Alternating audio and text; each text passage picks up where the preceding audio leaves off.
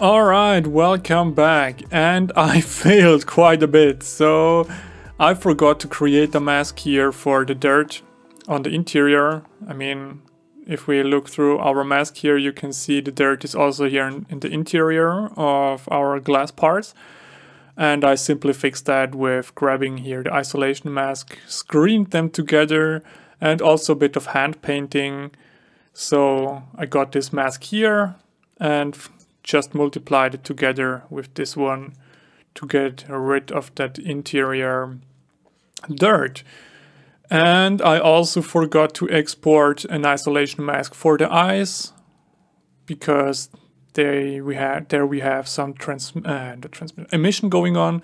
So I simply did the same as for the isolation mask for the glass. So they are here and I exported that so at this point, sorry for that that I forgot that, but yeah, fixing stuff is part of the game and it's nothing which you have to be ashamed about, so it's just normal. We are humans. So I exported all the textures and I did a very basic Maya setup here, which you can find in the project files as well.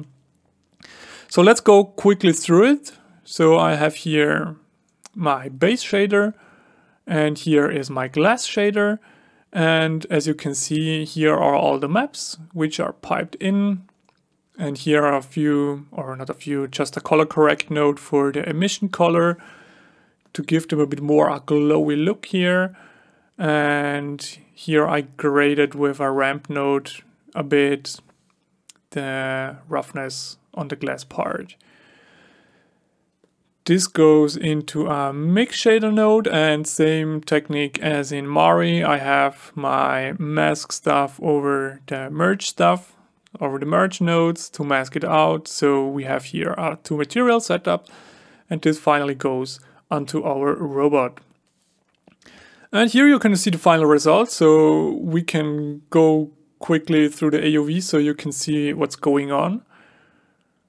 So here is just a diffuse, so you can see here the, the little leaks we added, and here's just a GI. And here on the specular, you can see what I mean with this, this little bumpy color bumps here on the surface. And this adds the, the realism to it. So that's, that's a very nice small detail, which brings in the end here, you can see it um, very well. So this this kind of not a perfect flat surface which you can find in the real world. And here as well a small elevation you can push it harder if you want to see it a bit more prominent. You can push it harder in Mari that's not a problem that's really up to you how how you want to create your shader. Here you can also see it a bit it's it's a bit brighter here on the side. I hope it comes through the video.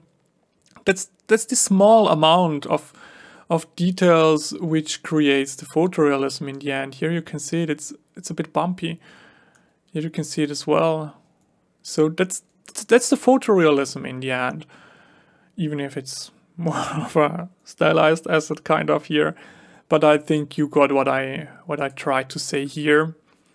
And yeah, you can you can go super crazy with your textures. You can create a super damaged one. You can create a super clean one that's really up to you. The techniques are always the same, which I have uh, showed you in the in the whole series, and that's basically it. I just will create one more video with some useful tips on tools where I have a quick look on different um, settings in Mari and so I definitely recommend to watch the last video and I hope you enjoyed this tutorial series so far and I hope you learned a bit how to work with Mari and the workflow with it and yeah, I wish you bye bye.